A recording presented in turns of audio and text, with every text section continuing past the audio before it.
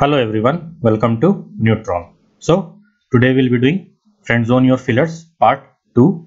So before starting the session, I would request you to please like and share the session with your friend. So let's begin with the today's session. And before starting the session, you can take a screenshot of the weekly schedule of English lessons. So now let's begin. Okay, so here is a close test okay so first we'll read it out so that we can have a rough idea about what what this passage is all about. Okay so it will be easier for us to fill in the blanks appropriately. Okay so it says the fact that india's holiest river is counted among the 10 most polluted rivers of the world and its water in some places is so contaminated that it is dash.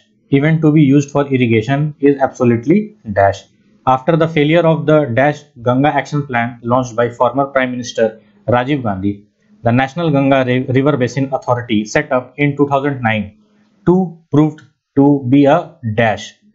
Now Prime Minister Narendra Modi's promise made during the election campaign to restore the glorious past of the river has raised the hopes of people.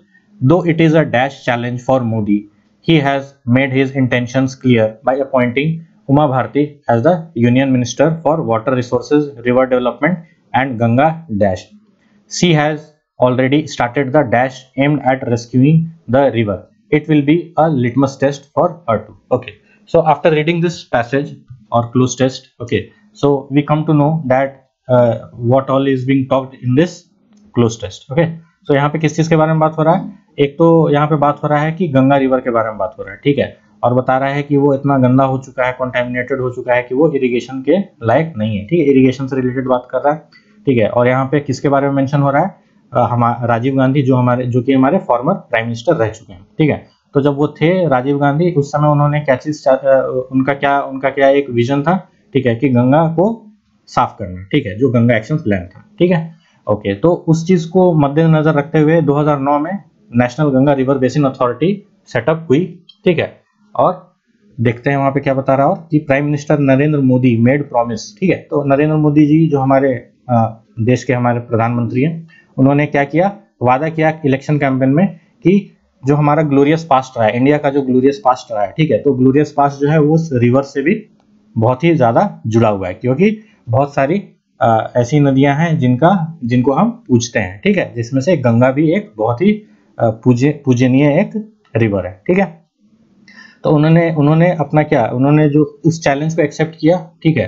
और उन्होंने क्या किया? उन्होंने अपने intentions clear किए by appointing Uma Bharti. Uma Bharti एक as a minister उनको appoint किया गया, ठीक है? और उनको अपॉइंट किया as a union minister for water resources river development and Ganga dash ठीक है? ओके और बोला जा रहा है कि शी हैज़ ऑलरेडी स्टार्टेड ठीक है? तो उनको जब अपॉइंट किया गया तो उन्होंने अपॉइंट होते के साथ ही उस चीज़ पे उन्होंने काम करना शुरू कर दिया होगा, ठीक है? ताकि उसको साफ़ किया जा सके। और बोल रहा है कि it will be a litmus test for her too ठीक है? तो ये भी उनके लिए एक पता चलेगा कि वो अपने काम में कितनी सफल होते हैं। ठीक है? तो हम देखते हैं कि यहाँ पे first first fill in the blanks में क्या हो सकता है। तो यहाँ पे पाँच ऑप्शन दिए हुए हैं। ठीक है? और यहाँ पे क्या बोल रहा है? पहले बार पढ़ लेते हैं। The fact that India's holiest river is counted among the ten most polluted rivers of the world and its water in some places is so contaminated that it is dash even to be use for irrigation is absolutely dash ठीक है? तो it is so contaminated that it is क्या होगा? It is unfit होगा। ठीक है? बिल्कुल सही अनफिट होना चाहिए। ठीक है? क्या कि वो तो क्या कि वो फिट नहीं है। मतलब कोई भी उससे नहाने योग्य या खाने योग्य या पीने योग्य वो नहीं है। ठीक है? डिसफिट जैसा कुछ भी वर्ड वैसा होता नहीं है। एग्जिस्ट नहीं करता है। ठीक है? प्रॉपर हो नहीं सकता है क्योंकि प्रॉपर मतलब होता है सही। ठीक है? और यहाँ पे क्या बता रहा है कि कॉन्टेमिनेटेड है। तो कॉन्टेमिनेटेड मतलब क्या होता है कि उसमें गंदगी है, उसमें बहुत ज़्यादा कचड़ा वचड़ा फेंका जाता है तो जिसकी वजह से वो गंदी हो गई। ठीक है तो प्रॉपर तो होगा नहीं, ये भी गलत है। और लैकिंग लैकिंग भी नहीं होगा, ठीक है। तो इसका सही आंसर ए है, ठीक है। So this one is the easy one so अब आगे देखते हैं। आगे हमें धीरे धीरे पता चलेगा किस किस टाइप के वर्ड्स यूज़ किए गए हैं, ठीक है। ओके तो यहाँ पे क्या है? Second second fill in the blanks में क्या क्या वर्ड्स हैं? स्टूपिफाइंग शॉकिंग ठीक है। एंड हॉब नॉबिंग ठीक है। तो स्टूपिफाइंग का मीनिंग क्या होता है? ठीक है स्टूपिफाइंग का मीनिंग होता है शॉकिंग ठीक है? इसका मतलब होता है शॉकिंग ओके और नेक्स्ट वर्ड जो बी है, वो सिमिलर है, उसको शॉकिंग लिखा ही हुआ है, ठीक है? और ए एंड बी है, और हॉब नॉबिंग अच्छा हॉब नॉबिंग क्या होता है? इसका मतलब होता है to mix socially with those of perceived higher social status ठीक है? जिनको हम परसीव करते हैं कि उनका जो है सोशल स्टेटस ज़्यादा है, ठीक है? तो उनके साथ हम क्या करना चाहते हैं? मिक्स करना चाहते हैं। तो उस टाइप के एक्शन को हम क्या बोलते हैं? हॉबनॉबिंग बोलते हैं, ठीक है? तो यहाँ पे देखें, देखते हैं कि यहाँ पे कौन सा वर्ड यहाँ पे फिट हो सकता है। Contaminated that it is unfit यहाँ पे लिख लेते हैं अनफिट ताकि हमें याद रहे, ठीक है, कि हमने इसे अटेम्प्ट कर लिया है, ठीक है? Okay that it is unfit even to be use for irrigation is absolute बिल्कुल स्टूपिफाइंग एंड शॉकिंग क्योंकि दोनों का मीनिंग सेम है, इसीलिए हमारा आंसर क्या हो जाएगा? आंसर सी हो जाएगा, ठीक है?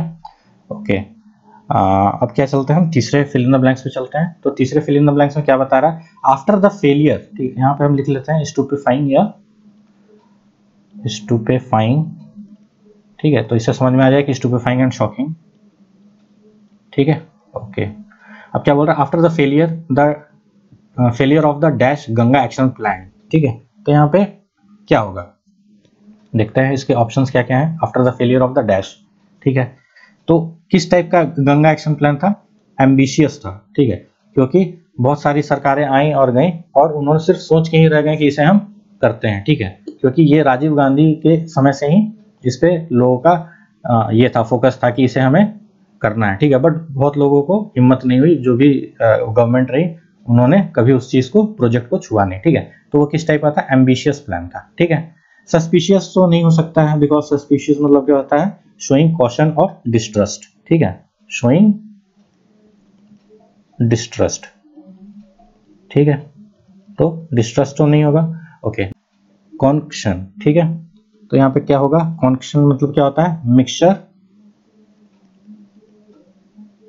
और फैब्रिकेटेड स्टोरी ठीक है? फैब्रिकेटेड मतलब बोलते हैं ना कि बनी बनाई स्टोरी उसको बोलते हैं फैब्रिकेटेड स्टोरी ठीक है? तो इसका मीनिंग यही होता है कॉन्क्शन का मीनिंग ठीक है? तो ये भी आपका नहीं होगा और ये भी आपका नहीं होगा। ठीक है? तो आपका क्या आंसर है? एम्बिशियस ओके यहाँ पर हम लिख लेते हैं एम्बिशियस ठीक है? ओके अब आगे क्या है? Okay the after the failure of the ambitious Ganga action plan launch by former prime minister Rajiv Gandhi, the National Ganga River Basin Authority set up in 2009 to prove to be a dash. Okay, prove to be a dash. तो यहाँ पे देख रहे हैं यहाँ पे हम देख रहे हैं ब्लैक एलिफेंट है व्हाइट एलिफेंट है। One's eyes are bigger than stomach and follow suit ठीक है? तो यहाँ पे क्या हो सकता है? ठीक है? तो पहले हम इसका मीनिंग देख लेते हैं कि ब्लैक एलिफेंट का मीनिंग क्या होता है। ब्लैक एलिफेंट का मीनिंग होता है something that is likely to happen that will have a detrimental impact. ठीक है? Something which will have a detrimental impact उसको हम बोलते हैं ब्लैक एलिफेंट ठीक है? हम इसको लिख लेते हैं।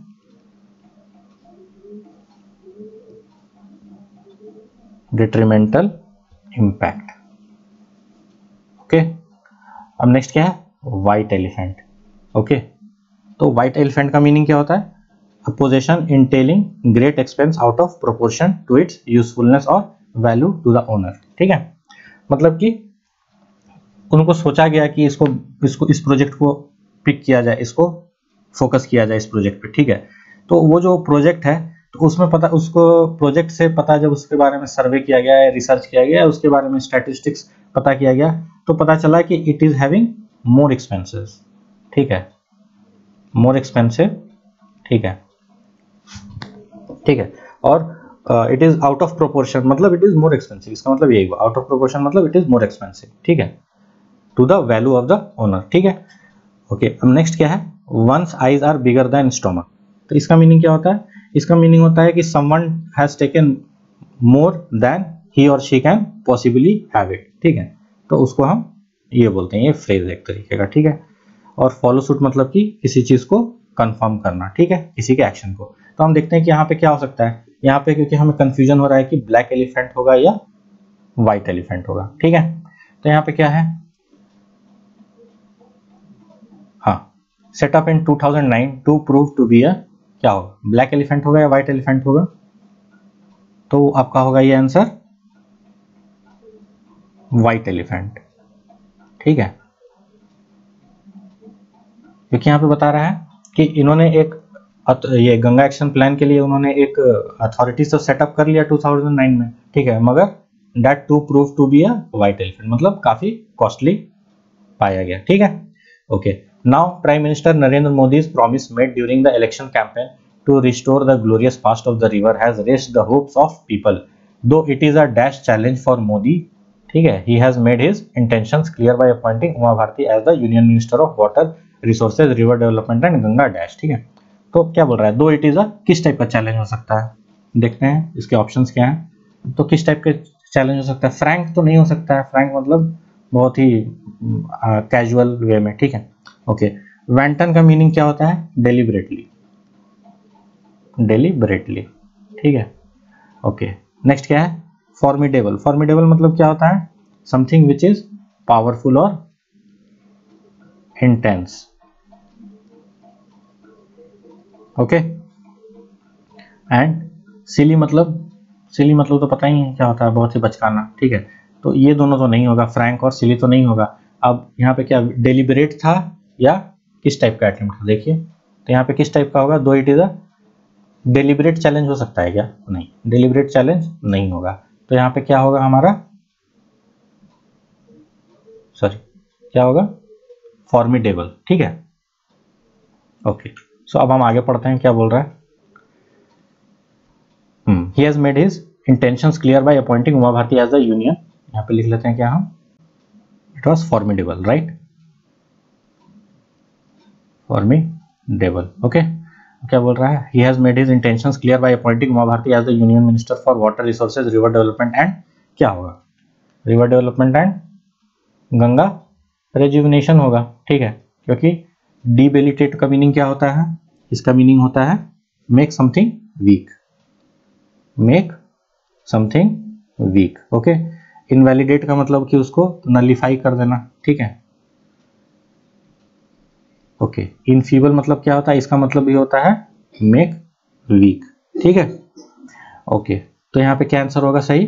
रेज्यूविनेशन ठीक है? ओके तो यहाँ पे हम लिख लेते हैं इस वर्ड को। Rejuvenation. Okay she has already started the dash aimed at rescuing the river. तो उन्होंने क्या क्या किया होगा? स्टार्टेड the देखते हैं ऑप्शंस क्या है। तो क्या होगा? इसका आंसर होगा स्पेड वर्क होगा, ठीक है? और स्पेड वर्क का मीनिंग क्या होता है? स्पेड वर्क मतलब होता है कि द प्रिपरेटरी वर्क ठीक है? प्रिपरेटरी वर्क ठीक है? तो प्रिपरेटरी वर्क क्यों होगा? बिकॉज़ क्योंकि उनको एक उनको एक कार्यभार दिया गया है कि आपको गंगा एक्शन प्लान का आपको जो सॉरी जो गंगा वाटर एंड रिजुविनेशन का आपको मिनिस्टर बनाया गया है, ठीक है? तो आपको क्या, आपको, आप उसको जब आपको टास्क दिया जाएगा तो आप क्या करोगे? उसके पहले आप उसके बारे में सारे डेटा कलेक्ट करोगे, आप उसके कॉस्ट को एज्यूम करोगे, उस चीज़ के बारे में आप रिपोर्ट मंगवाओगे, ठीक है? तो वो क्या होता है? वो एक तरीके का प्रिपरेटरी वर्क होता है, ताकि पता चल सके कि उस प्रोजेक्ट में क्या कॉस्ट लगेगा, ठीक है? इसीलिए the answer will be spade work और डिसेप्शन का मीनिंग क्या होता है? डिसेप्शन मतलब होता है किसी को फूल करना, ठीक है? है ना?